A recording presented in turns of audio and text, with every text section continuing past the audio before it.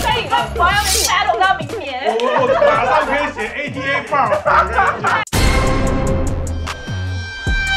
One, two, three. I know beats like ABC. 地表最闪夫妇王阳明、蔡世云传出四个月前已经分居，原因则是出现了强悍的第三者岳母大人。哎，等等啊，这样讲怪怪的啊，请先收起那大胆的想法。事情是这样子的。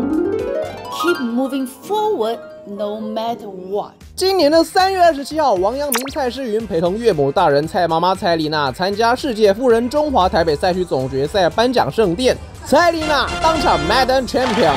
不过那却是王蔡夫妻最后一次公开合体，两人哎貌合神离的样子。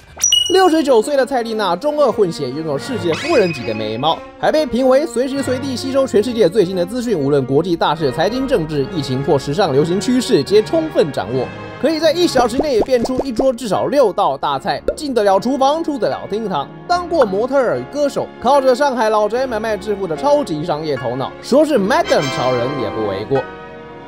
就是这么厉害的角色，在家中相当强势，宠外孙女无极限，只要有空会陪伴三岁的外孙女玩，陪她画画、学习语言、唱歌等等，还有各种生活教学、应对进退的礼仪，甚至豪砸百万送名表给、呃三岁的外孙女。天底下有这种事？啊，不然送我好了，进小编可不可以？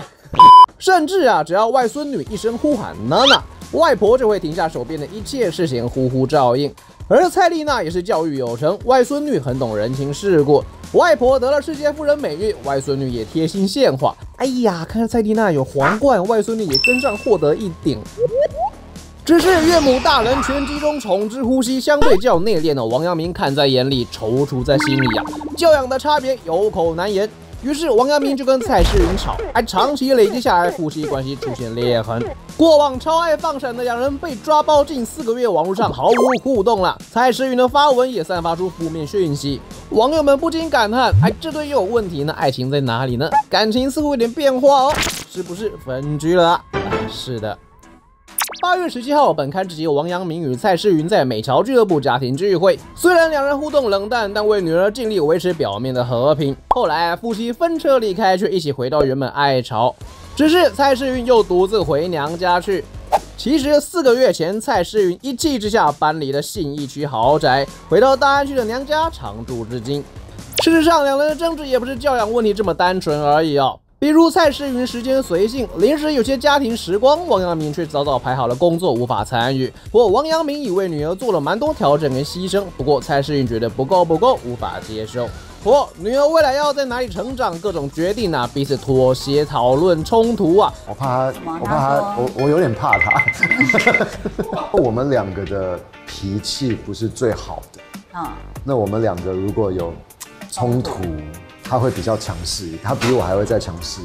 分居其实也是因为两人相处在一个屋檐下很容易冲突，怕负面情绪影响女儿，所以先分居。此外，目前女儿还小，王阳明也透露已经有心理准备面对更多上述的状况，但他也认为女儿依然最重要，还在成长，所以妈妈会比较辛苦，付出比较多。可知虽然夫妻有问题，但也尽量尊重，不影响女儿，而非网上的零互动啊。其实啊，只是在解决问题，没什么好放闪而已啊。我解决问题就忙得要死，还跟你放大闪。